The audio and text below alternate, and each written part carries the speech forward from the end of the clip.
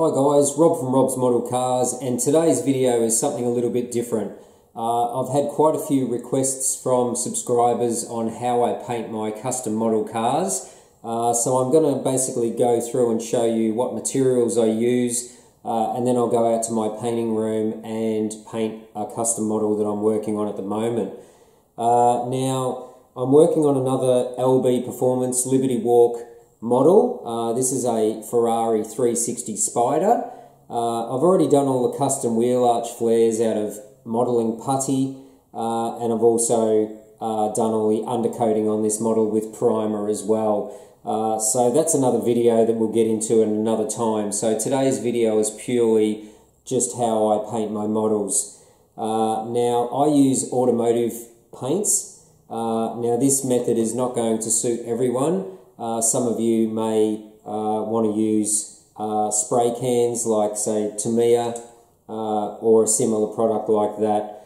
Uh, the painting process is basically the same, whether you're going to use spray cans or whether you're going to use automotive paints. The main thing that you want to do is have a nearly dust-free area to paint your models. Uh, obviously, most of you will know that painting your models dust is your number one enemy in a nice paint finish on your model.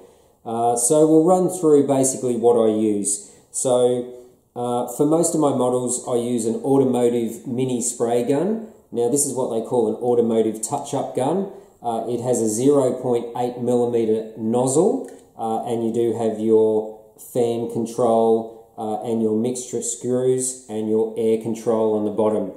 Uh, so this is where I'll pre-mix all my colours and I'll put them into this mini gun and I will actually uh, spray my models with these mini guns.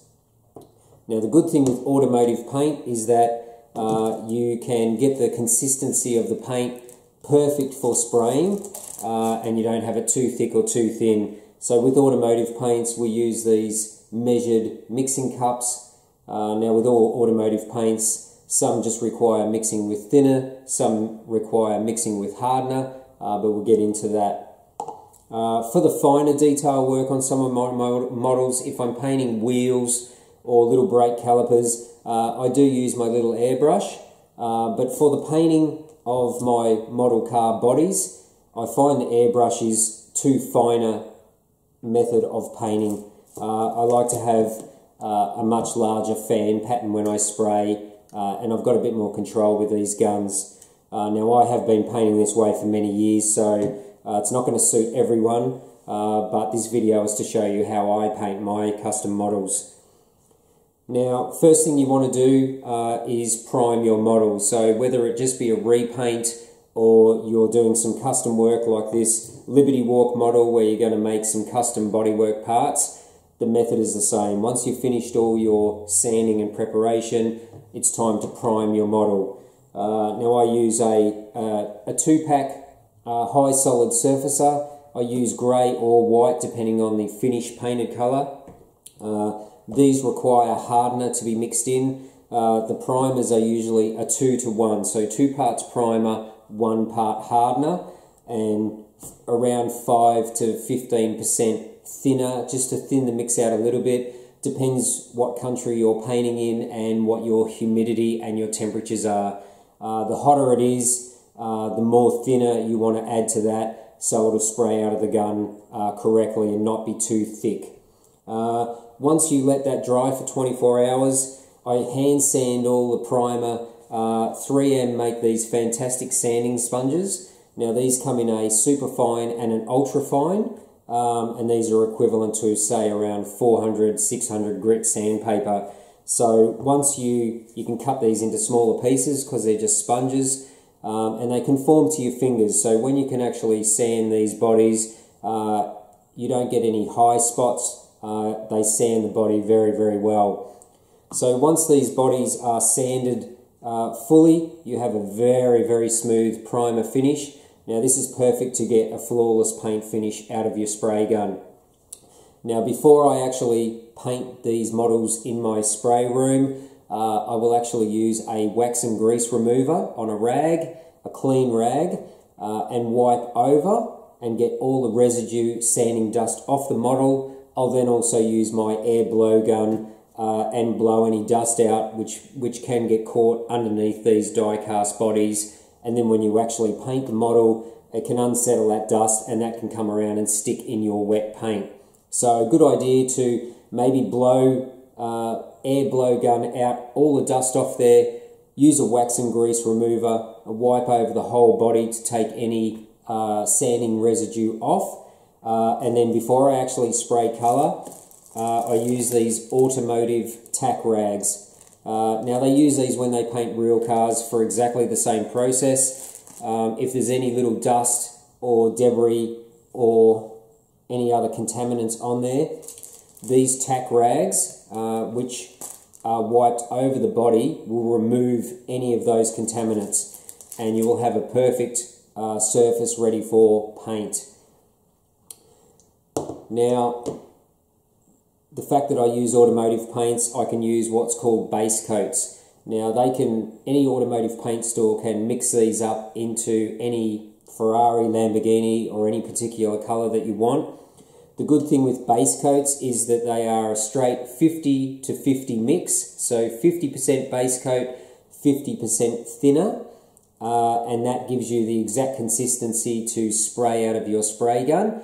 Uh, but the advantage with base, base coats is that they dry in around 15 minutes.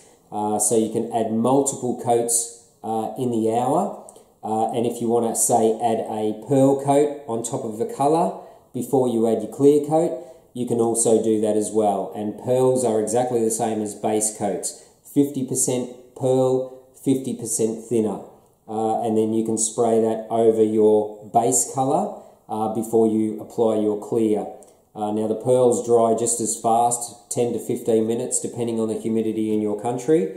Uh, and that way, if you do have a little error in your painting with the base coat, you can go back with your 3M sanding sponges and you can actually, if you say get a run somewhere, you can actually rub through that base coat to get rid of the run and then you can just reapply more base coat colour. Uh, that is the advantage with base coat drying so fast. Um, if you used other solvent bases or a, say a two-pack clear, uh, you've got to let those dry for 24 hours, otherwise they're still wet underneath uh, and you will have to wait and then sand the model back and start again. So that is one of the advantages with using automotive base coat is the very quick drying time. So once I've painted the model in base coat and I'm happy with the consistency of the colour on the model, I will then do a automotive clear coat over the top. Um, so this is an automotive clear coat. These are like the primer also, uh, where there are two to one. So two parts clear coat, one part hardener, uh, and again, maybe 10, 15% thinner in there just to thin it out a little bit more. Um, you always use your measuring cups when you're mixing these, and these have the ratios uh, with the lines here. So you can just add your product to the line, mix it up, and it's ready to paint. It's a flawless way of painting your models and getting your paint mixtures perfect for spraying. Uh, now, as I said before, if you're using spray cans, it's basically the same process. So you want to prime the body of the model, let that dry, um, then go over it again with the 3M sanding sponges, get the body nice and smooth, uh, and then you can apply your colour as well. Now, I used to paint my models years ago with spray cans.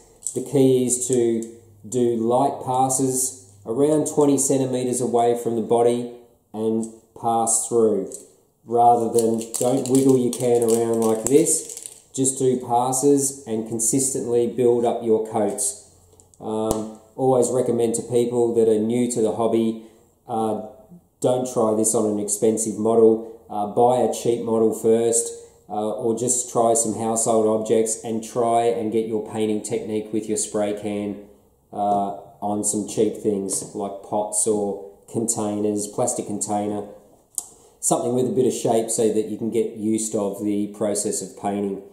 Uh, but this video, this is about how I paint my, my model cars uh, with automotive paint. Um, I usually don't buff my models. Uh, I usually get a good enough finish off the spray gun with the clear coat. uh, and you've seen some of my custom model series videos of the models I've built. Um, most of them, or nearly all of them, I have not buffed. That is purely the gloss off the clear coat straight out of the automotive touch-up gun. Now, that's pretty much shows you all the products that I use to paint my models. Um, one other thing I will show you is that when I paint all the parts of the models, I make little holders for my parts. So this is just some 20 millimeter timber dowel. Um, I just use some office clips that I screw into the dowel and these can hold parts. This is a door of the model. I've just put a screw through the top so that when I paint them, I can actually hold this a certain distance away from me and I can spray the part underneath, rotate the part around and get a good consistency. Uh, then I have a rack in my spray room that all these pieces fit into a rack. So I can go from piece to piece, pull it out, paint it, put it back and work through my order in my painting room.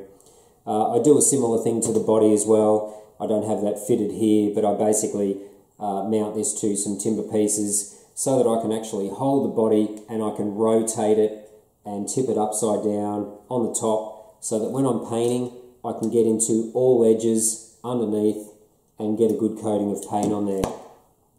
So that gives you guys a good idea of the products I use and how I paint my model model pieces and the bodies of the car. So we'll go out now. Uh, it's time to paint. I'm going to go into the spray room. I'll set the camera up in there and I will go through and show you how to layer up the colours uh, and then how to apply a clear coat.